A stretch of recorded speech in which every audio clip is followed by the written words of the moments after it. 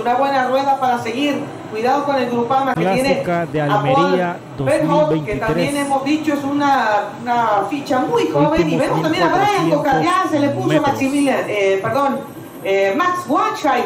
Lo está Etapa tratando de de colocar y de lanzar 190.9 a Brian. Cocar. También vemos al equipo de la sala tratando de subir. Fernando Gaviria todavía cuenta con la presencia Con de Iván García Cortina.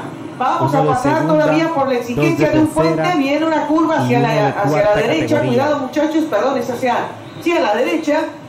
Y cada vez se hace más eh, escaso final. este lote. Aquí viene Giacomo Nizzolo, también el equipo del Israel Tech. Vamos a ver si viene un ataque. Vamos a ver si después de esta curva tenemos ya la exhibición. Estaba equivocado. Si el estreno falta solamente 500 metros. Arnoldi viene demasiado atrás. Van a tratar de lanzarlos del 1X. Muchos ciclistas. Vamos a ver si de por ahí Molano se quedó encerrado. Y también Fernando corredor de Movistar. También se quedó encerrado. Mucho personal en este 35, sprint. 36 y 5. Creo que Stone de Friente, el que acaba de ser la gran, la gran no sorpresa. hacer Quiero nada. recapitular si es él, Mucho porque tráfico. nos sorprendió en la toma, incluso apareció de repente el Mateo corredor. Moschetti. Y es. El ganador Vamos a de la es el número 6. No, es Mateo Moschetti, es Mateo. Y aquí tenemos la general.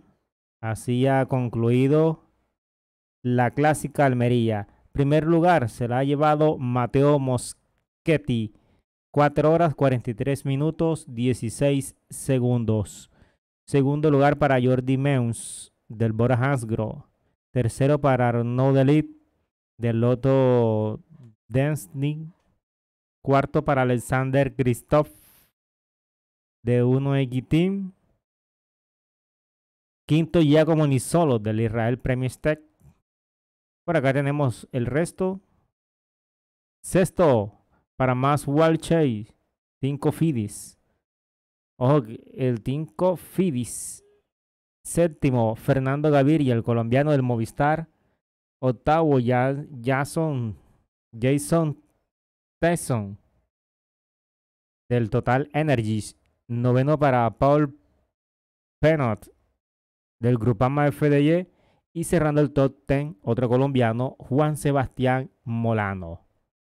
En la conclusión de la clásica de Almería 2023.